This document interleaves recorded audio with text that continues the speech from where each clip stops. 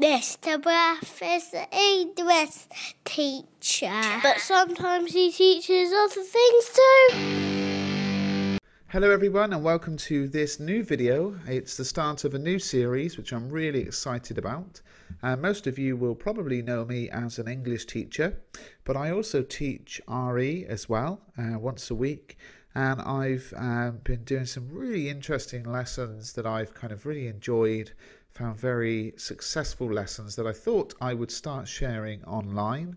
So the plan is that every Sunday my video on the Mr. Bruff channel will be based on my RE lessons and um, I think you'll find them very interesting. I know that it's a very contentious issue is uh, religion and God and the Bible and Christianity and Jesus and I think it's quite interesting that if I was to present an analysis of a poem um, you would probably watch that, everyone would watch that and then either agree or disagree or find points interesting and, you know, something to think about and ponder, but it wouldn't evoke strong emotion. Whereas when we talk about religion and God and the Bible um, and present our views on that, it does seem sometimes to really um, evoke a lot of emotion. And having looked around YouTube at some similar videos, it's quite interesting how a real flame war can start. So I'm not looking for that. I'm, I'm not looking for any kind of. Uh, you know, big kickoff. All I'm looking to do is to present to you what I think is some very interesting thoughts for you to consider and uh, as you see on the screen, a picture of a man reaching up to Jesus. Now, uh, in my RE lesson, in lesson one, um, I started by talking to the group about my own beliefs, my own thoughts on religion and God and the Bible and Christianity and Jesus, um, what I thought about that and, and why I thought it. And then I asked the group to write their beliefs down and the reading was really fascinating. There were uh, a number of students who did believe in God, and there were then a number of students who said that they didn't believe in God. And what I found really interesting, and what really kind of sparked me on to um, to make this series, is that everybody who said they didn't believe in God put it down to two things. They put it down to two things, which in this picture are, are kind of blocking the man from reaching up to to Jesus. They put it down to creation, um, or the, the concept of the Big Bang and the creation of the world and the universe, and they put it down to evolution, or the creation of life. So I'm going to address both of those topics. I'm going to look at creation today, the creation of the world, and I'm going to look at them from a viewpoint which is opposed to this picture here. So this is a very old school Street Fighter picture, um, you know, and it's saying science versus religion, fight. Um, and it's my belief that science and, and, religion, science and the Bible are not at war. That actually, um, if you look at it in detail, which I plan to do over this series, that science backs up um, the Bible and uh, the, the the sort of the Christian viewpoint. And that is, I think, something that um, not many people would perhaps know, or certainly in schools, it's not something that seems to be taught. And um, I just thought it would be interesting for me to put my views out here onto YouTube so that you've got uh, uh, perhaps a more rounded idea on these topics. I'll be, um, I think I've just said, I'll be using the, the subjects of history and RE and science to make my points. I won't be giving sort of personal anecdotes and, uh, you know, my own, uh, you know, life story, as it were. I'll just tell you what I believe are some very interesting things from science and history that suggest that, unlike this picture, uh, science and the Bible, science and religion, science and Christianity can be symbolized in this picture, which is the, the blending together of Jesus and of Einstein. Um, and, and I do believe that science and religion are not at war, and that is the, the kind of uh, subtext of, of this series, which I hope will at least get you to think about these topics. So in today's video I'm going to talk about my thoughts on these points. Science is not at war with God. Science is often focused on discovering the mechanism by which something is made, but discovering the mechanism by which something is made does not mean it has no creator or no maker. So let me give you an example which I think is uh, easy to understand. The cup of tea example. So this is a picture of me making a cup of tea. Um, rather foolishly, I wore a white shirt, I had a white kettle and a white cup, but I think hopefully you can uh, see that in the picture. So I made a cup of tea and I was its creator. I think that's uh, no one would dispute that. Now, if we look closely at the uh, the science of the cup of tea, we can examine how a cup of tea is made. Looking, for example, at the findings of Joule, this bearded scientist, we can analyse that the making of a cup of tea um, includes thermodynamic entropy, as represented in this rather snazzy picture from NASA. We could um, look at some of the other scientific processes that are taking part in the making of a cup of tea. We could map it all out in a flow map. We can look in detail at how a cup of tea is made. But just because we can work out how the cup of tea was made it does not mean the cup of tea did not have a creator. So I've taken myself out of the picture there, and that shows, you know, just because we can work out thermodynamic entropy and all the things that are taking place in the making of that cup of tea, it does not take me out of the picture. The cup of tea did not make itself. Um, the cup of tea was made by me. I was its designer and creator. I was still the maker of the cup of tea. And it is my belief that, in the same way, science can help us to understand, um, in many cases, how the world was made, but that does not mean it doesn't have a creator. And that creator, in my belief, is the God of the Bible. So, um, that's the standpoint I'm coming from. And what I want to do to begin with is to think about a little sort of history lesson in science and, and to kind of build that up to the, the Big Bang Theory. So, 200 to 300 years ago, scientists believed that the universe was eternal. They believed that it had always been there and that it didn't have a starting point. That was the widespread belief 200 to 300 years ago um, in the scientific community. Well, that kind of changed um, very dramatically when Einstein in 1915 came up with his theory of relativity. And he proved without a doubt that the Earth had a starting point, that space and time are not absolutes, they had a beginning. So that then absolutely changed the, the world of science. I think it's very interesting how science is, is constantly changing. Um, I don't think we see that probably in, um, you know, in our sort of schools uh, school studies because we're just looking at the current theories, but they always are changing. And Einstein's theory of relativity really did prove that the Earth had a starting point. So, um, Hubble, with his uh, telescope, also proved that galaxies are moving away from us. So, they, when they looked into space, they expected to see uh, everything just, all the planets and everything else, and the galaxies just kind of standing still. But they were surprised to find out that actually they were moving away, everything getting further away over time. And this proves that there was a starting point. Because it is constantly expanding, the universe had to start at some point. So they could actually trace back that route that everything's moved on and, and sort of work out where it all started. So we got to this point now where science proves that the Earth began. And I think that's, uh, you know, uh, the key point to take here. Also, there is a lot of cosmic background radiation. That's radiation which we can find no source for. Um, there's a lot of it, and this is a little picture of it, which shows signs of the start of our world. It shows that at one point there was nothing, and then all of a sudden, in the blink of an eye, there was the world. And of course, when that happened, there was, uh, you know, an effect on the uh, you know the sort of surrounding parts of the universe and that's where we can look at the the background radiation. We can see it's like a thumbprint or a footprint. We can see you know this this big um, moment where the world was created. Well it's my belief that that wasn't um, the big bang but actually well this on the screen 13.7 billion years ago there was nothing one second later, there was a world. Now, that is the, the scientific um, explanation of uh, you know how the world began. Now, I believe that atheism doesn't explain this, that there was nothing, and then click your fingers, there's the world. I believe that to find uh, something that backs that idea up, we need to look at the Bible.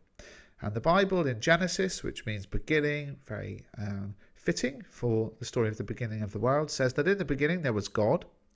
Uh, the earth was formless and empty, and God said, Let there be light, and there was light. So that very much backs up the scientific proof that at the, in the beginning there was nothing, and then one second later, bang, there is the creation of the world that God created. Now, that's one point, one way of looking at how science and scientific study can actually back up and prove Christian uh, teachings from the Bible. And of course, the, you know those uh, points in the Bible were written thousands and thousands of years ago, way before the scientific studies proved the points which the Bible seems to be making. So it's not like the Bible changed its ideas based on um, you know the scientific um, study. So, like I say, 200, 300 years ago, um, scientists would have said, you know, the Bible's wrong. Uh, the earth wasn't created by God. Uh, the universe wasn't created by God. It's always been there. Where today, with our new discoveries in science, we would say, okay, actually, yeah, you know, um, we agree the Earth wasn't always there. In fact, you know, it wasn't there, and then all of a sudden, one second later, it was there. Um, of course, mainstream science wouldn't then turn around and say, "Oh, you're right. Then God did it." But you know, I think that um, you know there's there's a, there's some interesting evidence for that uh, in those scientific points. The next thing I want to look at, though, is just how amazing the world is. There's a picture of the world from outer space. I always think if you fell and, you know, gravity was, was in place, which it wouldn't be, you know, imagine falling, free falling from there all the way to your house. That would be pretty crazy. Maybe that's a crazy thought. Anyway, there are nine things which I think are so amazing about the world are so specific, are so perfect, are so precise that they point to there being a creator, that they point to there being a God. And I'm just going to whiz through those with you. The first is the tilt of the Earth's axis. So um, the angle of the Earth is that it is not straight up and down, it's tilted at about 23 degrees. No other planet is tilted like that in the known universe. So why is it tilted at 23 degrees? Well, it's so that as um, just like a chicken on a, on a spit that rotates, it's so that the sun and the, the distribution of the heat from the sun is perfectly equal to all parts of the earth. Okay, so that's the first thing that is very specific about the earth. The next thing is the rotation of the Earth. So the Earth is rotating on that tilted axis at a speed of around a thousand miles an hour. And that is a very specific, critical speed for life to exist. So what if it was 10 times slower and it was going around at 100 miles an hour? Well, our days and nights would be 10 times as long. So our hot summer days would be, you know, say we have like 12 hour long hot daytime in the, in the uh, you know, in the summer it would be 10 times as long. We would have 120 hour long hot days. And you can imagine what that would be like. The heat would build up so great, it would scorch everything on the surface of the ground. Whatever survived, the incredible heat of the day would be frozen in the 10 times as long nights. Temperatures would plummet to minus 240 degrees. And, you know, it would, life couldn't exist um, without the, the rotation being the speed it is at the moment, and our world is rotating at just the right speed to alternate between heating and cooling, and the Earth is tilted just right and turning just right. Okay, so what else? Well, what about the oscillation of the Earth's axis? So, although we are tilted at 23 degrees, the Earth wobbles slightly off of that 23 degree tilt by a further 3 degrees. It wobbles up 3, back to 23, down 3, back to 23. And while it does that, it does it with amazing regularity. Bearing in mind, it is spinning at a thousand miles an hour. Now, our seasons and all of our climates depend upon that oscillation, that tilt of six degrees. Anything more than three degrees up from the average, and the sun would strike the earth with such force and heat it would evaporate the oceans, and we'd have two massive ice caps at the poles and a boiling cauldron of lava in the middle. Life as we know it would perish from the earth. Everybody would die. Now, a drop of more than 3 degrees off the average would result in the ice caps melting, flooding the earth. Any land masses that still existed, the increase in liquid would literally suck the carbon dioxide and oxygen out of the atmosphere. It would kill all the plants, all the animals, all the humans. Life couldn't exist. So, there so far are four things that are working together just right in our world tilted just right, spinning just right, wobbling up just right, wobbling down just right for life to exist. What else? The depths of the oceans. Now, the former president of the American Academy of Sciences said that if the Earth's oceans were just a little bit deeper when the Earth began, the extra water would have robbed the atmosphere of the oxygen and carbon dioxide. So the atmosphere we breathe in at the moment is 78% nitrogen, 21% oxygen, 1% trace elements. It's just the right combination for human life to prosper, but without it, life would have never begun. Therefore, the Earth's oceans are just the right depths in relation to the atmosphere. This is probably my favourite one the thickness of the Earth's crust. The Earth's oceans are the right depth, but the Earth's crust is the right thickness. If the Earth's crust was only 10 feet thicker, that would oxidize all the Earth's oxygen when the world began. 10 feet more solid matter on the Earth's crust makes the difference between life and death. So now there are six things working just right the tilt, the spinning, the wobbling up, the wobbling down, the oceans, the Earth's crust. Everything is just right for life to exist. But there's more. There's the speed of orbit. We are moving around the sun in an elliptical orbit at just the right speed. It's not a circular orbit, but an elliptical orbit. We're spinning through space around this orbit at about 18 miles per second, and that is just the right speed. If it slowed down just a couple of miles per second, we would be pulled into the sun and burned to a crisp. Or, if we increased our speed, we would freeze to death. So the speed around the sun is just right. Lots of things that are just right. The distance from the sun. We are 93 million miles away from the sun. At that distance, we get just the right amount of heat to survive. The sun's like 12,000 degrees in temperature, but for us, 100 degrees seems really hot weather.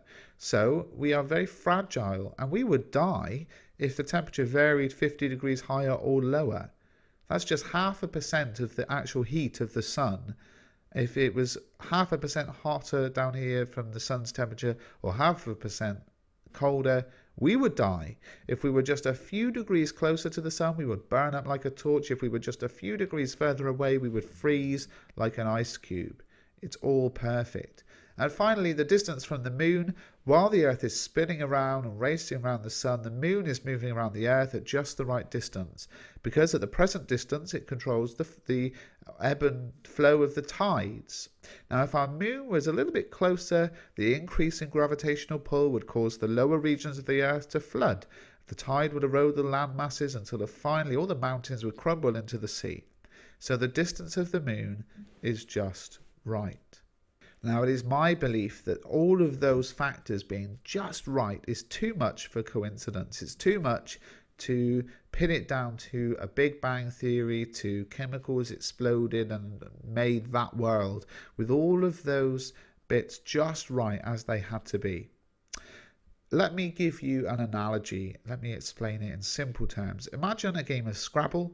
I hope you know the game Scrabble.